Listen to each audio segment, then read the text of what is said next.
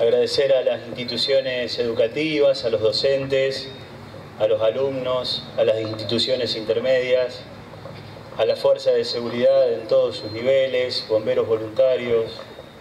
agradecer a los vecinos, a las vecinas que, que están presentes, a los funcionarios, concejales, señora diputada provincial, a los familiares ¿no? de, de nuestros caídos, de nuestros veteranos, y agradecerle fundamentalmente ¿no? a nuestros héroes, a nuestros soldados, a quienes salieron de, suelo argentino y pisaron y defendieron el suelo de nuestras islas, a quienes no tuvieron la posibilidad de salir, pero que también estuvieron preparados para hacerlo si hubiese sido necesario. Y hoy nos encontramos ¿no? nuevamente un 2 de abril, como lo hacemos todos los años, eh, en este lugar, en esta plaza, en este monumento que, que para todos los varaderenses es muy emblemático, en una fecha que también es emblemática y muy significativa para, para todos los argentinos. ¿no? Hoy hace 42 años que, que se iniciaba la guerra de Malvinas y me parece que, que como todos los años es un momento que, nos nuclea y que nos encuentra en este lugar para, para homenajear, para poner en valor, para conmemorar, para recordar, pero por sobre todas las cosas me parece que la palabra justa es para reivindicar. ¿no? Me parece que reivindicar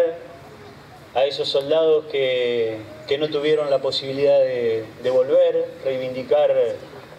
el dolor de la familia, ¿no? de quienes fueron y no volvieron, y el dolor de la familia, de los que volvieron, de nuestros soldados que, que volvieron pero que todavía tienen heridas que no han podido cerrar, reivindicar el orgullo que sienten, como escuchábamos recién, las palabras de los héroes, no recordando después de 42 años que todavía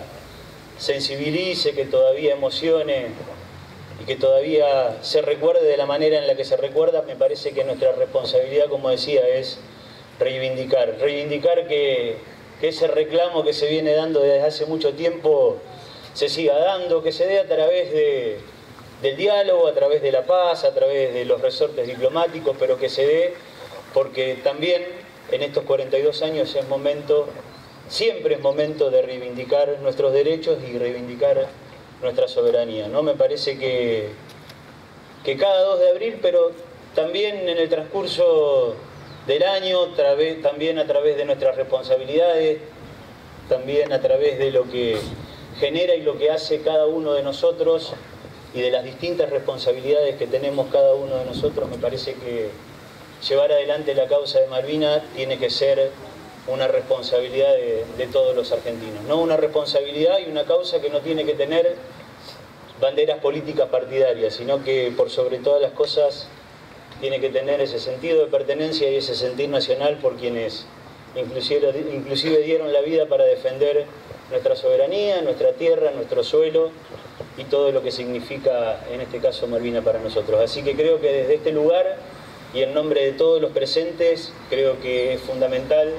abrazar a nuestros héroes, abrazar a la familia de nuestros héroes y tener más en claro que, las Malvinas fueron, son y serán argentinas y hay que, que por sobre todas las cosas, eh, a través de todos los medios, seguir con ese reclamo por, por honor a, a quienes tuvieron la posibilidad de defender nuestro suelo, los que volvieron y los que están acá. Muchísimas gracias.